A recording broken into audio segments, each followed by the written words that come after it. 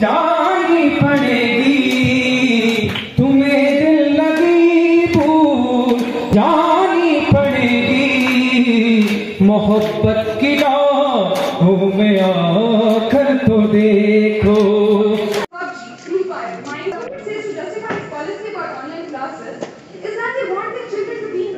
Or do you want to die under a building whose construction was led by such a civil engineer who was not capable enough to uh, make a who was unskilled enough to judge you?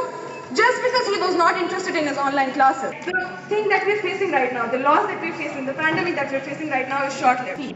But what now when it's almost under control? Why do you have to extend it every now and then? Every as in conclusion, I would request the government offline classes and not conduct online classes any further because our future is at stake. Every act of conscious learning requires the willingness to super.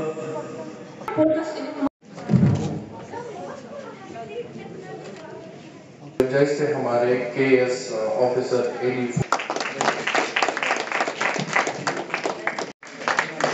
आप अपने मोहब्बत का इजहार करें S S P Baramulla Raees Mohammad Bhat Sahab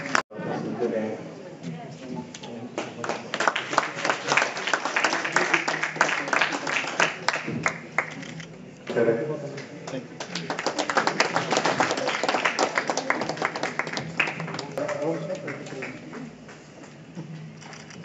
Sujan Shaheen MT Sopore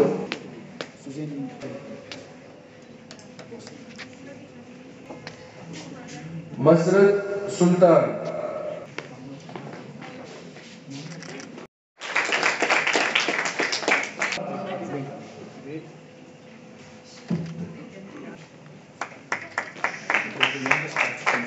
Bonzes do Injil, Please Public School.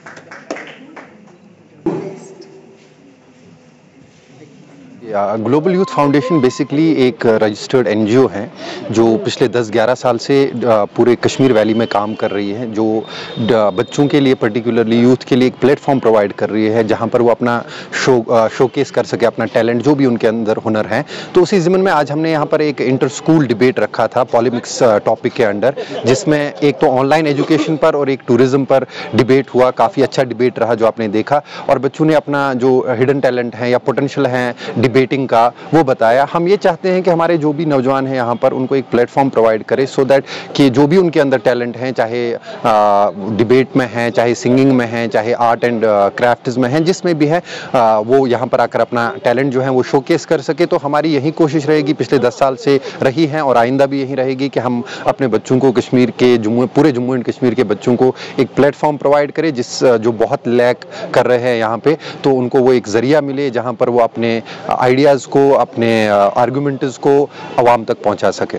जी, ये global youth foundation की तरफ़ से और in collaboration municipal council Baramulla की तरफ़ से हमने एक इनिशिएटिव लिया था। हम ये आइडिया लेके आए थे कि हम एक डिबेट कंपटीशन कराएँगे इंटर स्कूल उसमें हम कुछ ऐसे टॉपिक्स रखते हैं जिस पे बच्चे आर्गूमेंट भी करें, उसके खिलाफ भी बोलें और उसके सपोर्ट में भी बोलें। तो बहुत सारे बच्चे थे सोपोर से लेके बारामूला तक हमने स्कूल्स को इनवाइट किया था। उसमें से सेंट जोसेफ था वेल्किन एम और डीपीएस जैसे स्कूल सब आए थे, उन्होंने बहुत अच्छे से पार्टिसिपेट किया। और इस प्रोग्राम का सिर्फ़ एक ही मकसद था कि उनको प्लेटफॉर्म दिया जाए और उनको सिखाया जाए कि जब भी हमें कोई डिसएग्री करनी हो तो हम लॉजिकल डिसएग्रीमेंट करते हैं। हम ऐसी चीज़ नहीं, हम वायलेंस के थ्रू नहीं करते, हम लॉजिकल उनको जवाब देते हैं और लेट्स एग्री टू डिसएग्री ये इसका एक मुद्दा था। देखिए सबसे पहली बात जो ग्लोबल यूथ फाउंडेशन ऑर्गेनाइजेशन है आ, दस साल से ये काफ़ी एक्टिव रही है खासकर बारामूला में। आर्ट एंड क्राफ्ट्स में हो चाहे सिंगिंग में हो चाहे डिबेट्स में हो। तो हम चाहते हैं कि एक प्लेटफॉर्म बच्चों को प्रोवाइड करें जहाँ पे कि वो अपना जो हुनर दिखाएँ। और मैं थैंकफुल हूँ जो नई टीम है हमारी ग्लोबल यूथ फाउंडेशन की, जिसमें हमारे इम्तियाज़ खांडे साहब है, हमारे फैज़ान साहब है और जो हमारे आबिद साहब है। तो और जो बाकी जो मेंबर्स है ग्लोबल यूथ फाउंडेशन की टीम का मैं बड़ा, जो यंग नई टीम है, क्योंकि स्टार्ट मैंने 10 साल पहले किया था और मेरी यही कोशिश है जिस तरह से हम अपने टाइम पे यूथ को एक प्लेटफॉर्म प्रोवाइड करते थे तो आज भी हम करें। तो आज का जो आपने डिबेट देखा, किस तरह से बच्चों ने बड़ी खूबसूरती से, बड़ी कॉन्फिडेंस से टूरिज़्म पे बोला कि किस तरह से हम बूस्ट कर सकते हैं टूरिज़्म को या उसके जो अगेंस्ट बोला। तो एक हम एक माहौल यहाँ पे बनना चाहिए हमारी स्टेट में आर्ग्यूमेंट्स का जिस तरह से लॉजिक का। और दूसरी बात ये है कि अगर हम देखें, जो जो यहाँ के हालात है तो मुझे लगता है जब किसी जगह आप फेल हो जाते हैं अपने आर्ग्यूमेंट को साबित करने में या अपने जो आपको बोलना होता है अ, उसको अ, आप लोगों तक पहुँचाने में जब फेल होते हैं तब आप वायलेंस का तरीका इस्तेमाल करते हैं।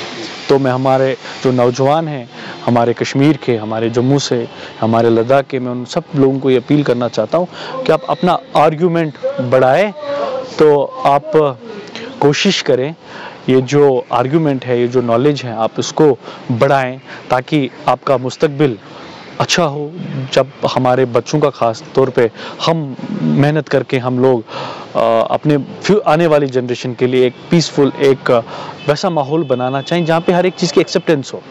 एग्रीमेंट्स डिसएग्रीमेंट्स होते हैं लेकिन कम से कम आप डिसएग्रीमेंट सुनने के लिए भी तैयार हो। ऐसा माहौल हमें नहीं चाहिए जहाँ पे हमें वायलेंस सोसाइटी में लाना पड़े ताकि आपका एग- जो आर्ग्यूमेंट है वो मानने के लिए। तो ये सब के लिए हम कोशिश करते हैं कि हम अपने नौजवान बच्चों को, भाइयों, बहनों को कोशिश करें एक प्लेटफॉर्म प्रोवाइड करें। हालाँकि आज वैसी ज़रूरत भी नहीं है। अगर किसी में टैलेंट है, फेसबुक है, यूट्यूब है, आज के टाइम अगर हम सोशल मीडिया का अच्छा इस्तेमाल करें तो nothing is impossible in today's world